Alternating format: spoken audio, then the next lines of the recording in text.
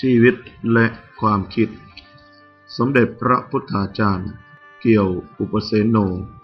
พระมหาเถระผู้เป็นประวัติศาสตร์ ความทรงจำพระพุทธศาสนาโลก ฝากตัวเป็นสิทธิ์หลวงพ่อพริ้งภายหลังจากอาการเจ็บป่วย มีร่างกายแข็งแรงแล้ว สามเณรเกี่ยวโชคชัย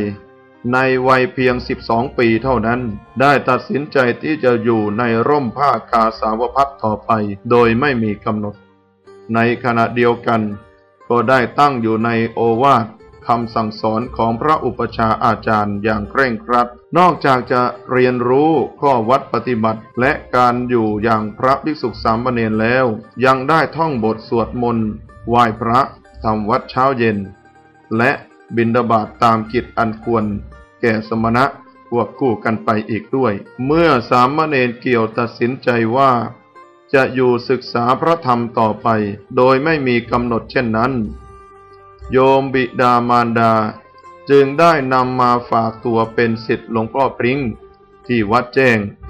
ผู้เป็นวิปัสสนาจารย์ใหญ่แห่งเกาะสมุย มีความรอบรู้ทั้งปริยัติ และปฏิบัติ ซึ่งเป็นที่เคารพนับถือของชาวเกาะสมุยอยู่ในเวลานั้น วัดแจ้ง ตั้งอยู่ในย่านตลาดหน้าทอนตำบลอ่างทองอำเภอเกาะสมุย ภายหลังเมื่อหลวงพ่อพริ้งมาเป็นเจ้าวาด วัดแจ้ง ได้กลายเป็นวัดที่สำคัญ เป็นสถานที่พักพิง ฝึกอบรมลูกหลาน ชาวเกาะสมุยและชาวเกาะพังงัน ที่ต้องการให้ลูกหลานได้มีโอกาสศึกษาเล่าเรียน เนื่องจากวัดแจ้งเป็นวัดฝ่ายวิปัสสนาของเกาะสมุย ที่ผ่านมายังไม่เคยมีการเรียนการสอนพระปริยัติที่เรียกว่านักธรรมอย่างเป็นจริงเป็นจังมาก่อน และในปีนั้นเมื่อมีสามเณรบวชพำนับอยู่ในวัด หลวงพ่อปริงผู้รับภาระธุระพระศาสนา จึงได้จัดให้มีการศึกษา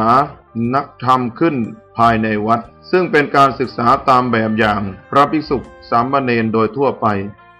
เพื่อบ่มเพาะเมล็ดพันธุ์แห่งปัญญา สืบเชื้อสายสักยบุตรต่อไป พระอาจารย์ผู้สอนก็คือหลวงพ่อปริ้งนั่นเอง นอกจากท่านจะเป็นอาจารย์ผู้สอนปริยัติแก่สามเณรเกี่ยว เป็นปฐมแล้ว ยังได้ชื่อว่า เป็นปฐมอาจารย์ ผู้วางรากฐานการเจริญสมาธิภาวนาแก่สามเณรเกี่ยว ผู้ซึ่งขณะนั้น